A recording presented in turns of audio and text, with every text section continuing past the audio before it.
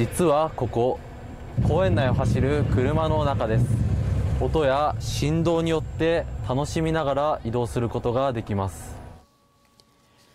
これはトヨタ紡織が開発を進める乗り物での移動時間を楽しむためのシステム。今月19日から豊田市の倉ヶ池公園で実証実験が始まるのを前に報道陣に公開されました。